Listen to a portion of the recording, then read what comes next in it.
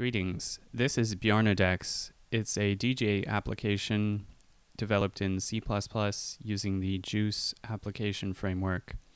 It allows users to load either of two decks, A and B, with tracks, play them back using a variety of effects, including low pass filter, high pass filter. You can adjust the speed and crossfade between the two decks in order to perform live mixing. To begin with, your track library is empty. You can either drag and drop or load tracks with the Import Tracks button. Tracks can be deleted from the library, and upon exiting the application and reloading, they're remembered. You can export your library or load a library file that you've saved elsewhere, as shown. Metadata like title, artist, and song length are extracted from the files. To load a deck into a player, you simply select the track and click Load Deck A or Load Deck B, or you can simply drag and drop. Playback of an individual deck is controlled by the transport controls. You can adjust song position by dragging the slider.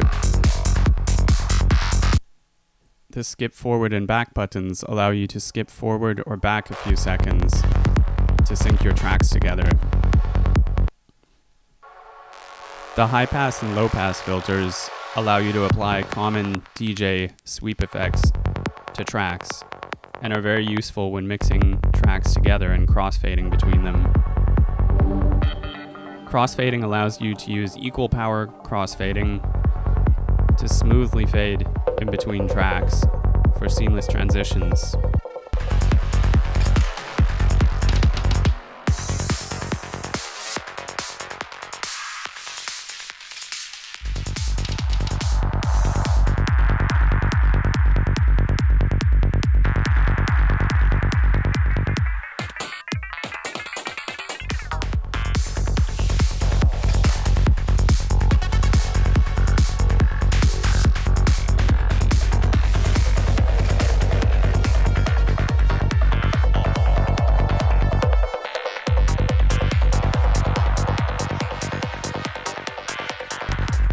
There's a gain control for each deck so you can match the level of your audio files together.